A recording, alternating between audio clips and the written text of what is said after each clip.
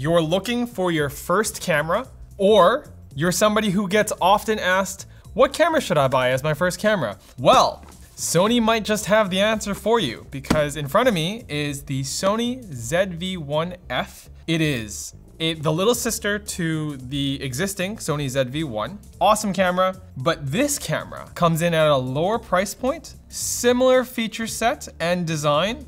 It might even be that much easier to use for vlogging or any other social media content. Packaging is fairly minimal. Um, I know Sony's trying to go with the whole zero waste. If you've seen the ZV-1, the body is basically exactly the same, but they are also using a SORPLAS, they call it, um, or SORPLAS. I do not know what percentage of the camera is using this material, but it is a recycled material, so that's always nice to see, and it does still feel like a camera. I mean, it feels more plasticky than uh, other Sony cameras that I've felt, but that's to be expected since this is a budget camera. So on the front of the camera, we have the 20 millimeter f2, which is a brand new lens. The original ZV-1 had a 24 to 70. And the reason for this is you'd have to kind of hold your arm out fully straight, even on the widest 24 mil on the ZV-1, because between the 4K, which adds a crop to this image, and the active stabilization, you would crop in so much on the image that even at 24 mils on a sensor this size, you'd kind of have to really be reaching to get the shot that you wanted.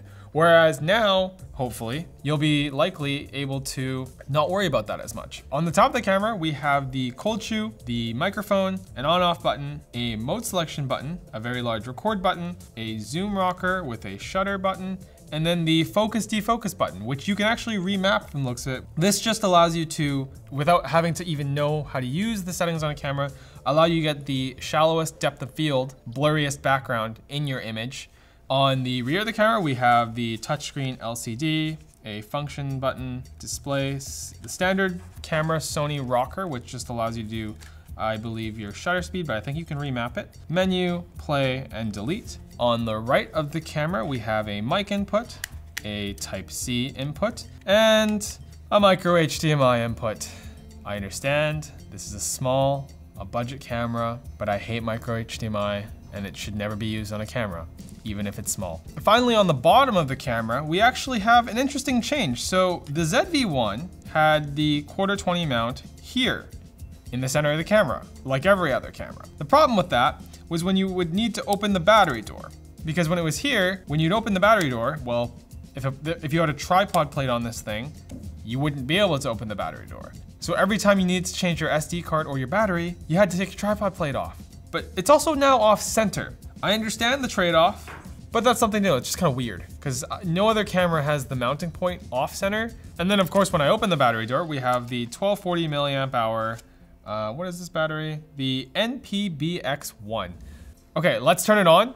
But first, a word from our sponsor, Grammarly. Thanks to Grammarly for sponsoring this video. Communicating online through emails, Slack, or Discord can easily be misinterpreted and can become a huge time block. This is why all working professionals need a desktop app like Grammarly. Grammarly provides comprehensive spelling, grammar suggestions, and ensures your writing is mistake-free, professional, and polished. Simply install the free desktop app, log in, and start typing. There's also Grammarly Premium, which provides more in-depth feedback on your writing, such as tone transformations to adjust your tone and sound more confident.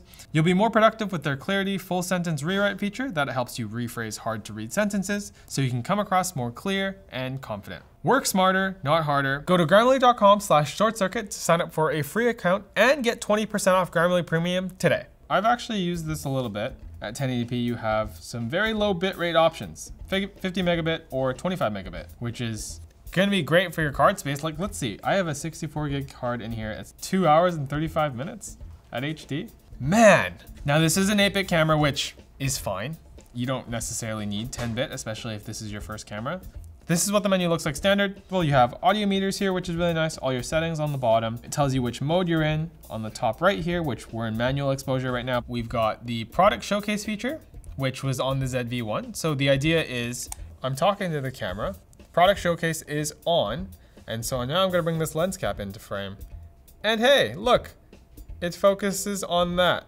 I did actually test this feature last night, and it did struggle in a low light situation when you aren't front lit um, but you're actually backlit.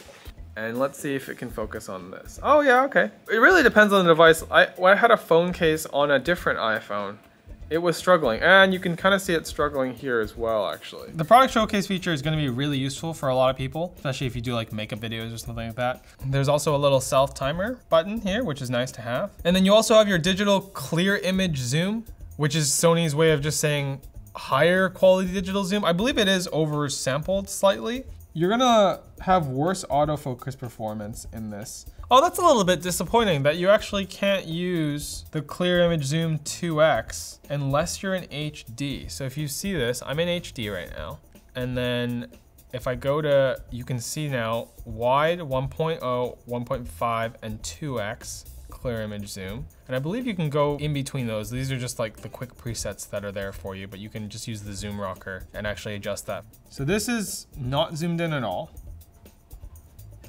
And then this is the 2x zoom in HD. The wide shot at 4K, and then this is the 1.5 zoom. So it's definitely not as wide.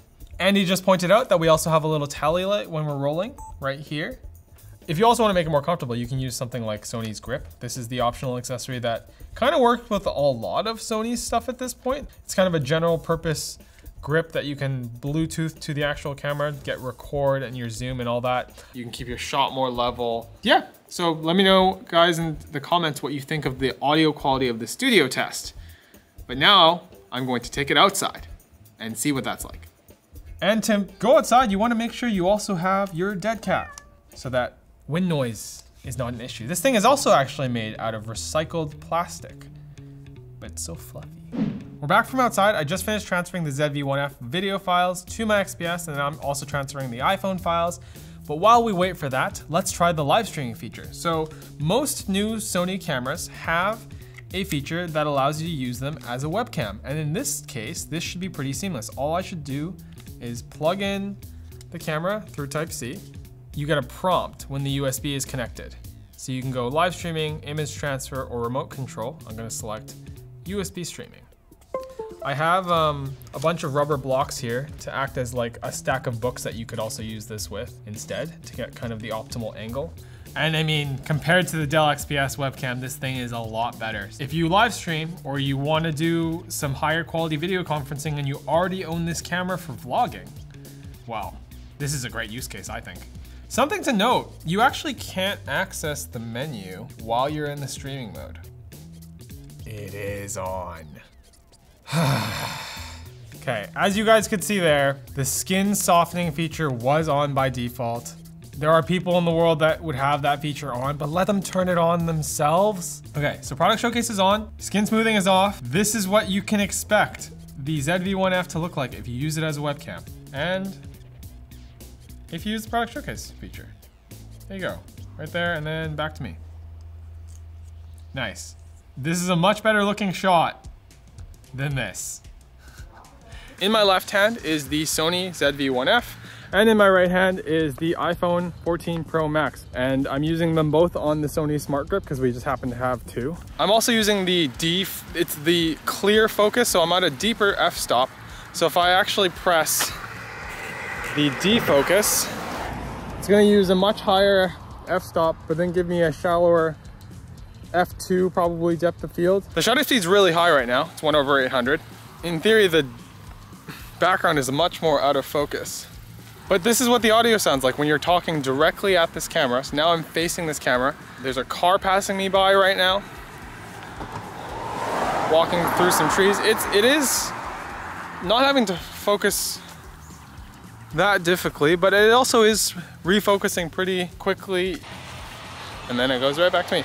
Now this is contrast-based autofocus, so it's not as good as the phase detection in other Sony cameras.